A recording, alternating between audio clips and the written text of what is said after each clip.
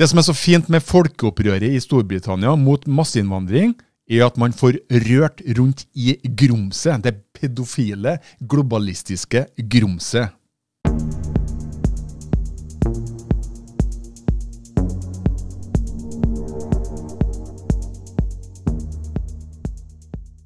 Hei, jeg er Ronny Rønning fra Alternativ Media. Som sagt i tidligere video, elsker globalistene i hele Vesten migranter, muslimer og venstreavvikere, mens de helt åpenbart hater den innfødte europeiske befolkningen og vi som taler deres sak. Og de elsker ei gruppe til. De elsker de pedofile. De pedofile er de som er høyest elska av den globalistiske eliten. Til og med mer elska enn migranter og venstreavvikere. Det er mange som vil påstå at det finnes fakta som påpeker en viss overlapping mellom disse tre gruppene. Heng med, så skal jeg gi deg tolv konkrete eksempler på hvordan globalistene elsker pedofile og hater nasjonalkonservative. Og heng med helt til slutten for selve rosinen i pølsen. De tolv eksemplene er tolv dommere med de mest horrible avgjørelsene etter folkeopprøret mot migrasjon i Storbritannia. Og de har to ting felles. De har dømt patrioter til flere måneder og flere år i fengsel for bl.a. bare å ha deltatt i og ha vært til stede på folkemøter og demonstrasjoner mot migrasjon. Og de har vist en bemerkelsesverdig empati og forståelse overfor perverse pedofile og sluppet dem løs uten fengsel. Ok, er du klar? Ta først dommer Andrew Menury. Han dømte 69 år gamle William Nelson Morgan til 32 måneder fengsel etter å ikke ha flytta seg unna veien for politiet. Ifølge The Guardian-artikkel fra 8. august sa William til politiet Jeg er engelsk, jeg er 70 ok, la meg være. Og siden William er etnisk brite, eksponeres han med fullt navn og uten at bildet sladdes. Pensjonisten er tidligere aldri dømt. Ifølge Liverpool Ekpo lot den samme dommeren en pedofil 30-åring med en stor samling ikke bare barneporno, men også materiale med grove voldtekter av spedbarn, slippe fengsel fordi dommer Manuary sa at han hadde en god karakter. Den pedofile sykepleieren John Wadeson hadde hjulpet noen etter bombinga på Manchester Arena i 2017, noe som fikk dommeren til å mene at fengselsstraff for besittelse av grovt overgrepsmateriale i hans tilfelle mot babyer ikke var passende. Så har vi dommer John Temperley, som er en av dem som av en eller annen grunn ikke greier å finne bilder av på nettet. Ok, Den 30 eh, han dømte den 31 år gamle Billy Thompson til tolv uker fengsel for å ha posta emojier på Facebook som var rasistiske. Innlegget inneholdt én emoji av en etnisk minoritet og én pistol. Og siden John er en etnisk brite, eksponeres han med fullt navn og uten at bildet sladdes. Ifølge en artikkel fra Cumberland and Westmoreland eh, Gazette fra september i 2022 slapp den samme dommer Temperley fri en pedofil som hadde usømmelige og ulovlige bilder av barn. Temperley lot den pedofile slippe straff fordi han visste anger. Så har vi dommer Francis Liard. Han dømte den 21 eh, år gamle Charlie Bullock til 18 måneder fengsel etter å ha kasta stein mot politiet i Middlesbrough. Det er merkelig at jeg aldri har fått med meg nevneverdige reaksjoner mot venstreekstremister eller muslimer som har kasta stein mot politiet. Og siden Charlie er britisk, eksponeres han med fullt navn og uten at bildet sladdes. Den samme dommeren har ifølge Darlington and Stockton Times nylig latt en pedofil gå fri. Den 30 år gamle familiefaren fra Darlington hadde lasta ned hundrevis av videoer med voldtekter av både små barn og dyr. Dommer Francis Lyard lot han slippe fengsel fordi han visste anger. Så har vi dommer Paul Sloan. Sloan dømte 43-årige Leanne Hodgson til to og et halvt år fengsel for å ha ropt rasistiske ord mot en politimann under opprøret i Sunderland. Og siden Liana er britisk eh, etnisk, eksponeres hun med både fullt navn og bilde som ikke er sladda.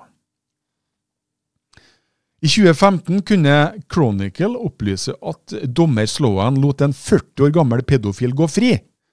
Den pedofile hadde lasta ned 10 000 uanstendige bilder av jenter ned i tiårsalderen. Dommer Slåan begrunna avgjørelsen med at 40-åringen ikke hadde sett på bildene ofte nok. Og vi har dommer, dommer Neil Rafferty. Han nekter å slippe fri på kursjonen folk som har, eh, bare hadde vært til stede og sett opptøyene på avstand. Ifølge breakingnews.ie advarer han folk mot å være i nærheten av opptøyene. Til og med nysgjerrige tilskuere vil ikke bli løslatt på kursjonen. Belfast Telegraph kunne i september eh, unnskyld, i desember 2021 melde at dommer Rafferty lot en 44-årig som hadde voldtatt sin niese mens hun eh, var sterk berusa tilstand, å unngå å bli fengsla. Dommer Rafferty la vekt på at overgriperen angra på handlingen. Så har vi dommer Mark Bury. Mark Bury dømte 20 år gamle Brandon Kirkwork til to og et halvt år fengsel for å ha dytta en søppelkasse med hjul mot politiet. Dette skjedde under opprøret i Hull. Siden Brandon er etnisk brite, eksponerer BBC han selvfølgelig med usladda bilde og fullt navn. Ifølge Hull Daily Mail har dommer Bury bedt en pedofil mann som har blitt tatt med haugevis med overgrepsmateriale av barn, om å heller gå oftere ut for å få frisk luft, istedenfor å samle på bilder av overgrep mot barn. Han hadde lasta ned bilder av dyresex også. Han unngikk fengsel og ble idømt samfunnsstraff. Så dommer Jeremy Rickardson han dømte 18-årige eh, Kenzie Ruffley til to år i fengsel for å ha sparka til en redningsbil og provosert politiet. Siden Kenzie er etnisk brite, eksponerer BBC han også selvfølgelig med uslagda bilde og fullt navn. Derimot slapp dommer Richardson ifølge The Star en pedofil fri etter at han hadde målretta oppsøkt en sårbar 13 år gammel jente for seksuelle overgrep. Dommeren slapp, eh, dommeren slapp han fordi den pedofile ville lide i fengselet. Dommer Robert Linford Linford dømte 45 år gamle David Maguire til to og et halvt år fengsel for å ha spytta på politiet. David er etnisk brite og eksponeres derfor med fullt navn og usladda bilde. Dommer Lidford er også svak for de pedofile og lot en 38-åring som ble tatt med barneporno, slippe unna med samfunnstjeneste. Dommerens begrunnelse var ifølge Devon Live at mannen hadde et konstruktivt syn på fremtida. Så skal vi til dommer Steven Everett. Han dømte nylig 53 år gamle Julie Sweeney til 15 måneder fengsel for å ha skrevet i et Facebook-innlegg Spreng moskeen. Antagelig den i Southport, da. Skav News eksponerer henne med fullt navn og usladde bilde. Selvfølgelig, hun er jo etnisk brite. Dommer Everett har latt flere pedofile gå fri. Han kalte det en gang samvittighetsløs å sende en mann tatt med bilder av barne, barnevoldtekt i fengsel. Dette ifølge Norwich Guardian. Så har vi dom, dommer Gay Carl. Artig navn. Gay Carl. Han dømte en kjent pedofiljeger. Det liker ikke globalistene til pedofiljegere. Han dømte en kjent pedofiljeger med navn Philip Hoban til åtte måneder i fengsel for å ha ropt 'Who the fuck is Allah?' og gestikulert med leppene på en rasistisk måte, hva nå enn det betyr. BBC eksponerer selvfølgelig den hvite briten fullt ut. Vestlige medier liker ikke folk som avslører pedofile.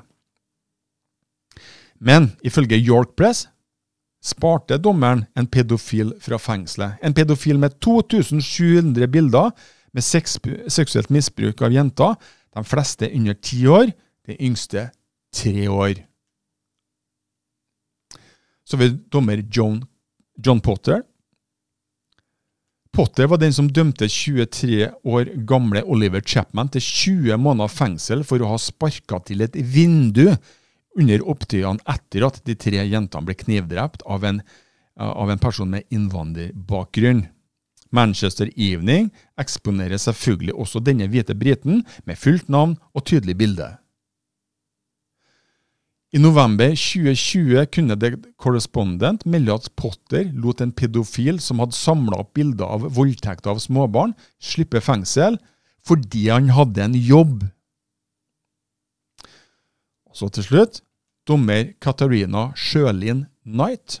Katarina dømte Wayne O'Rourke til tre års fengsel for å ha delt desinformasjon om drapet på de tre jentene i Southport. Altså han må sitte i tre år i fengsel for å ha tatt feil. Ven er en etnisk brite, så da er det en selvfølge med både navn og usladda bilde i media.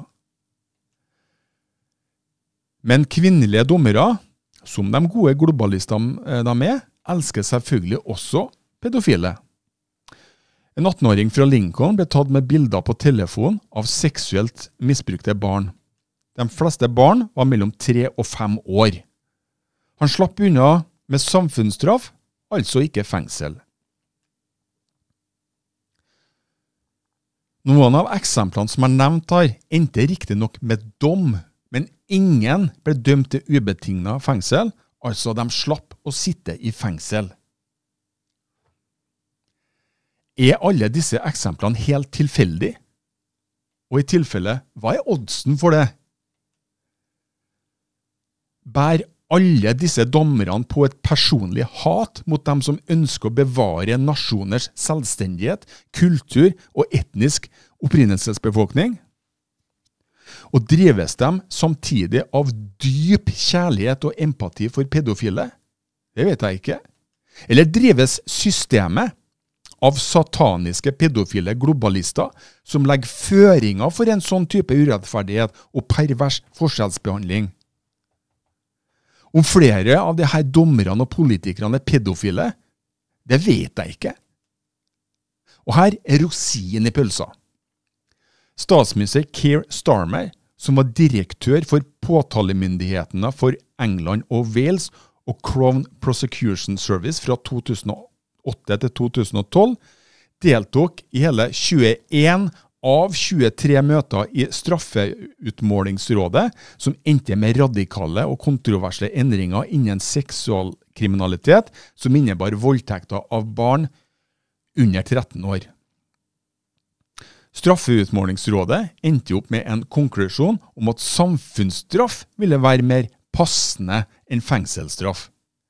Eller den korrekte ordlyden var at det kan være unntakstilfeller hvor det er mer passende. Men føringene er jo selvfølgelig lagt. Det ser vi jo på resultatet av de tolv eksemplene som jeg nå har nevnt. Starmers historikk på området ble aktuelt da hans parti Labour, altså Arbeiderpartiet i England, da, satte i gang et uh, angrep mot rivalen og forrige statsminister Rishi Sunak fra de konservative, altså tilsvarende Høyre, under valgkampen i vår. På en, valgkamp, eh, på en valgkampplakat fra Labour så sto det sitat Synes du dømte seksualovergripere mot barn skal i fengsel? Rishi Sunak synes ikke det.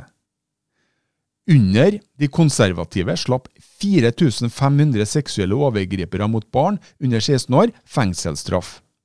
Labour vil fengsle farlige barneovergripere. Sitat slutt.